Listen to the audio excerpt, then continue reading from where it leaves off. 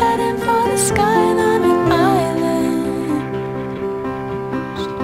I watched you disappear into the clouds, swept away into another time.